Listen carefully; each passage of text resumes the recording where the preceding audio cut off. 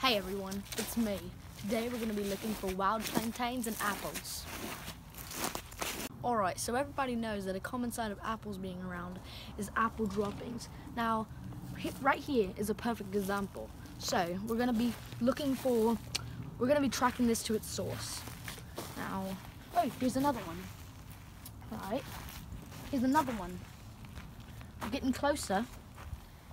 Oh, oh, look, you can always tell that the source is right under it whenever the last apple was implanted into the ground. Alright.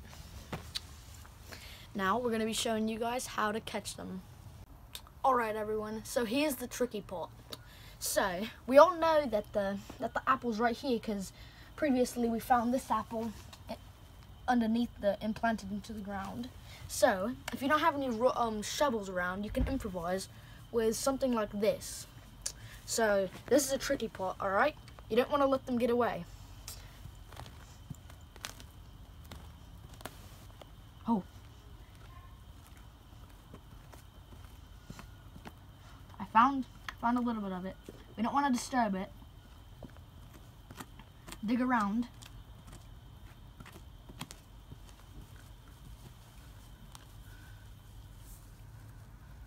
starting to wake up. Gotta be a little bit more quiet.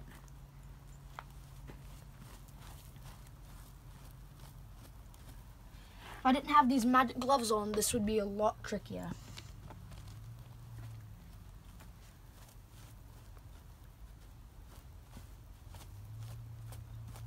Find these any local,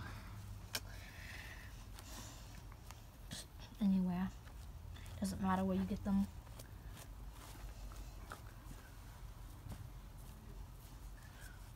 starting to start moving around.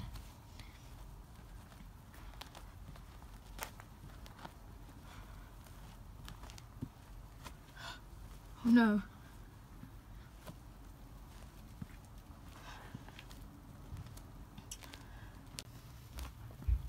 Oh!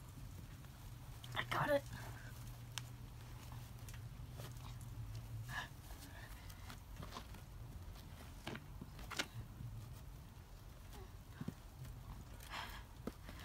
Here's,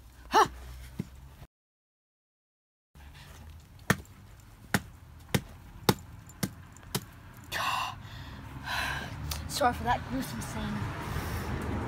This is fresh apple, straight from the source.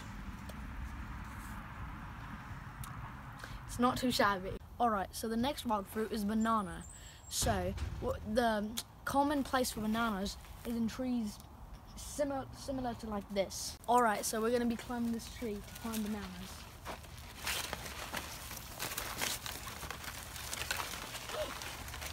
What's this? I see one.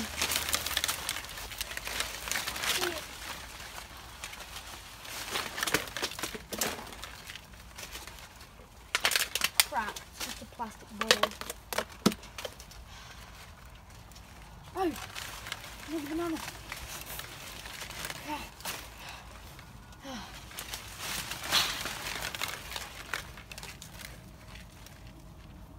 Fresh from the wild bananas.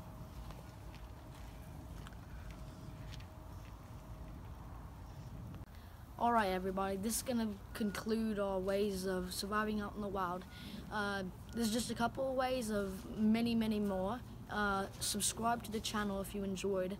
Uh, leave a comment and like if you really enjoyed this. Um, and